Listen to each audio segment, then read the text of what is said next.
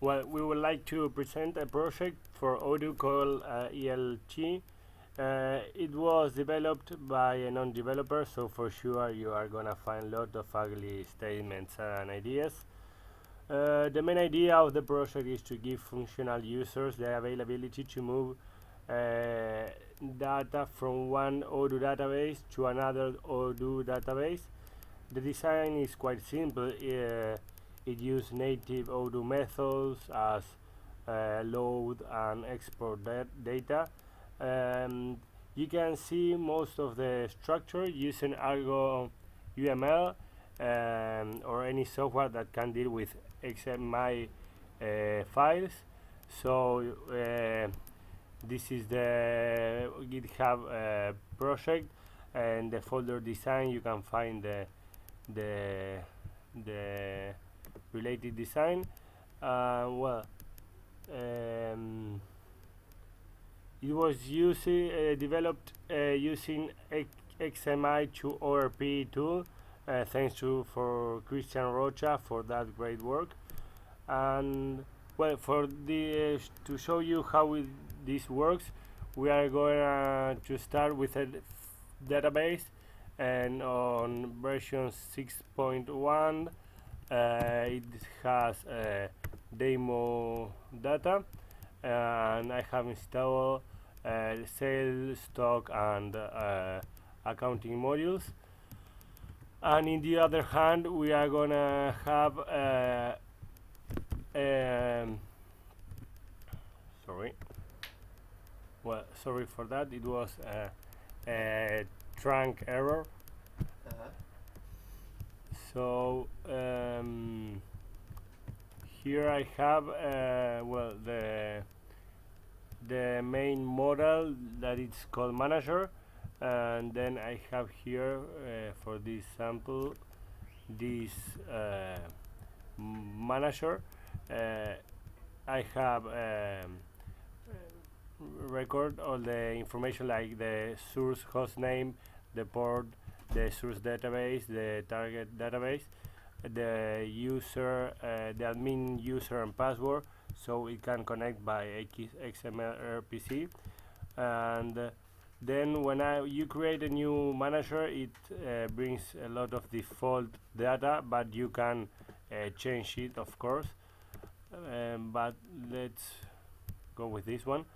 So the first thing I'm gonna do is uh, use this button read and get records.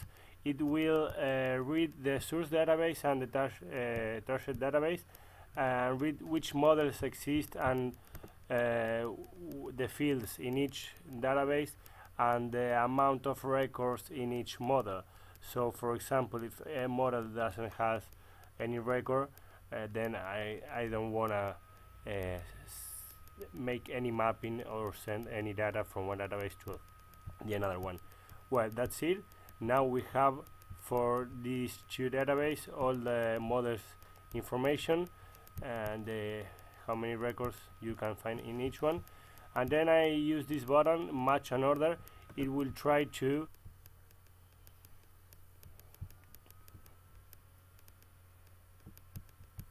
so let's wait well we can see here the log of the uh, the last operation we have run. So it uh, has made some mappings we call it uh, actions. Um, so let's go to actions and let's see. Well mm, you can see for example that uh, many of these actions doesn't have uh, has a mate in the like in the target uh, database. That is because the our um, V8 database it's empty. So the first thing I'm gonna do is install some modules and you can do it right here. For example I, I have uh, take notes that I wanna install this module so I just press this button now I should read again the models in the database and match again.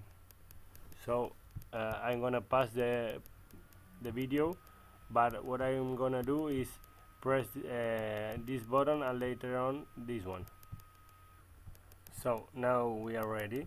And now if we go to actions we can see for example partner we have uh, three partners in the source database and three in the target one. Uh, this is the V8 database clean.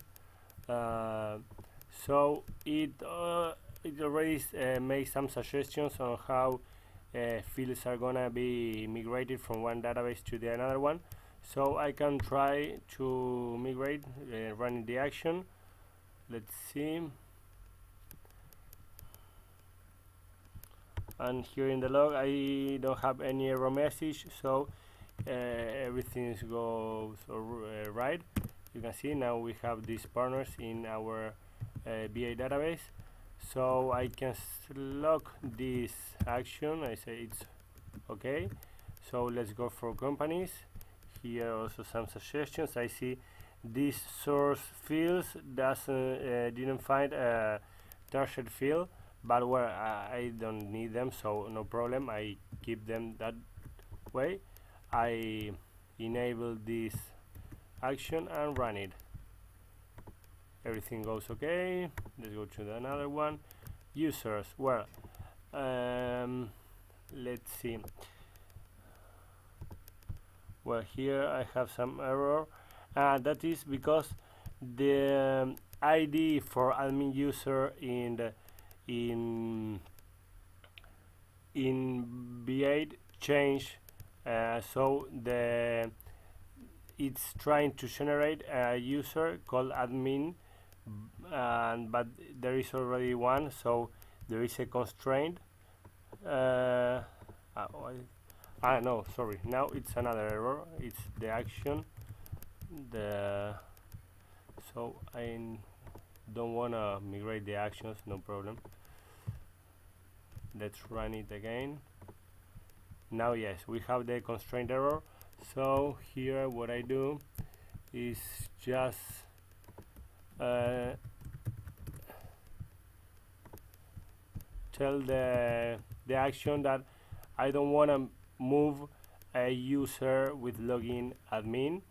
Uh, so here you can put any domain you want and also choose from which record to which records zero will mm, uh, send everything. So now um, we have uh, users uh, two users in both database but the ID the external ID for admin in the target database is different. So what I'm going to tell our ma manager is that we want to map each time user ID um, uh, from V6 well I want to show you. So if I have user ID field I want to make a map by ID from user to user. So now I can read the records I have in the one database and in the other one. And now it gives me the availability of map. For example here you can see that administrator it's base user admin but in target database it base user root. So this way uh, the the actions will map the new ID let's continue. Well users already done enable blocked so account fiscal year let's try to run it. It goes okay. Look this uh, the state field it's uh, in an unrepeating state.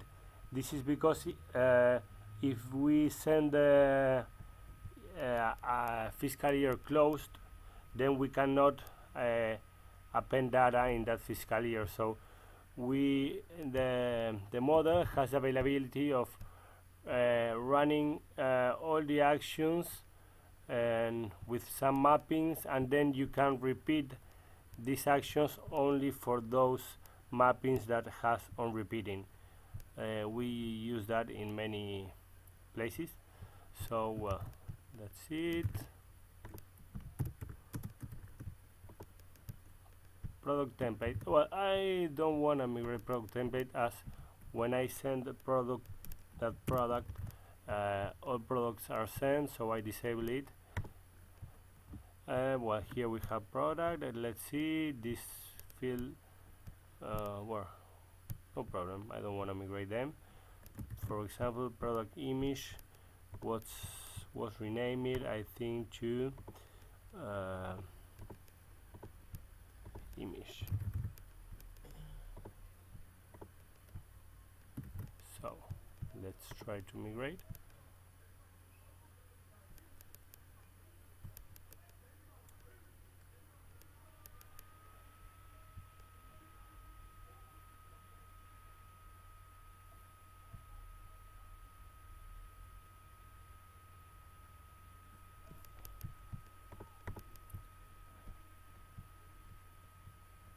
Ah that is because it is trying to migrate the template field but we haven't migrated the template so let's disable it. Let's run it again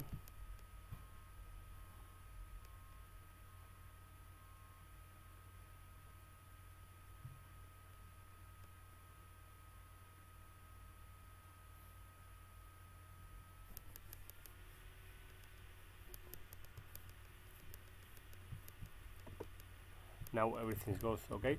So now you can see we have uh, the partners we have uh, products and well this is how it works. And, and when you have built all the rules you can run it again with a new database. Also your customer can keep working with his database. You make uh, some tests with uh, uh, database and all database and then you once you have the rules you just need to run it with the new database and it should work. Um, and you can see that when you make a mapping from one field to the another one you can uh, make some like for a field or run some expression uh, for example uh, each company field doesn't exist in V6 so in V8 you perhaps want to say that uh, each company should be set to true for partners and for partner address not. Um, well, that's all for now. Uh, sorry for my bad English and feel free to contact us if you wanna work with this project. Um, so with uh, the last thing we want to say is that the aim of this project is different than Odoo migration or OpenUpgrade. It allows uh, you to start over uh, from a clean database, uh, merging different uh, Odoo database into a single one, like a multi-company database. So, uh, or also to change data. For example, we can have one chart of accounts and we wanna migrate all invoice account moves in a new uh, chart of account database. So it is possible and we have we are doing that. Um, so the possibilities are big. Bye bye